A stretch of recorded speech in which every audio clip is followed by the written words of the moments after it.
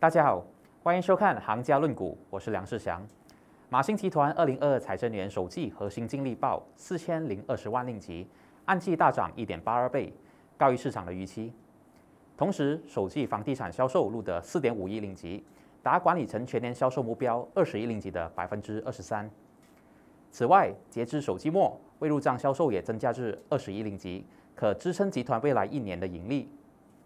尽管如此，首套业务因平均售价低迷而表现不振，MIDF 因此下调今明财政年盈利预测百分之七点四和百分之七点五。展望未来，行家预计该集团将推出价格适中的房地产，支持销售势头。值得注意的是，五月推出的第一期 M 森 Un 双层住宅已全数售出。综合以上，MIDF 将目标价下修至七十四仙，维持买入评级。